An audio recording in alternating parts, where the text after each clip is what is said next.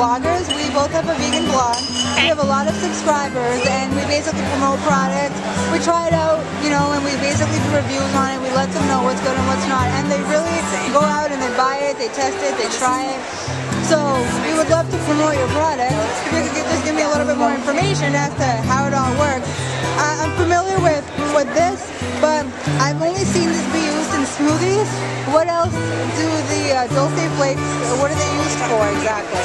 Or what can people use them for? People can use them in any way you like. My name's Serafina, by the way. Serafina, nice to meet you, This is my Serafina. father, Shep.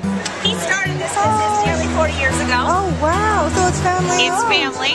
Oh, well we are supporting your family. So there you go. I used to say thank you for putting me through college. Oh, there you go. Awesome. Um, I like to talk about whole seaweed in terms of any whole vegetable. Like Okay. you don't go to the grocery store and ask the person who you buying the kale from in the grocery store, how much kale do I eat?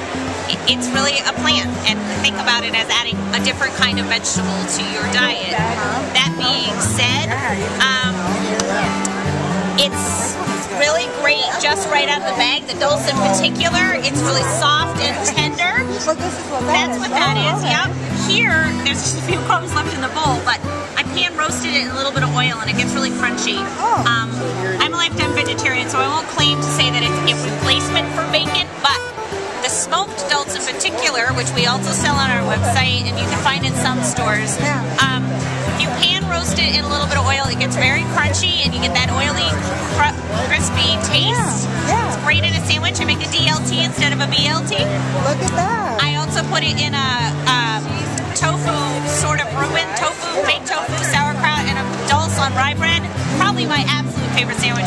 I also will eat it by the bowl full that way.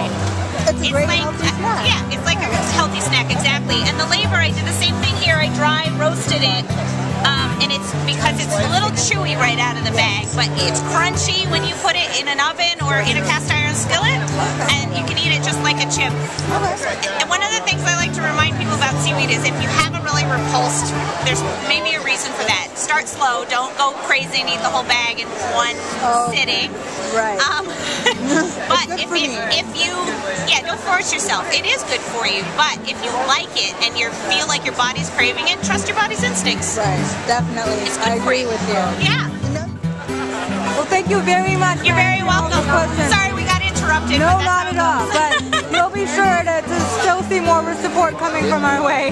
Good. Will you find our Facebook link and talk to us? Definitely. I want to see this. And uh, we'll def- we're gonna edit this and make it really nice, and you'll see it. Fabulous.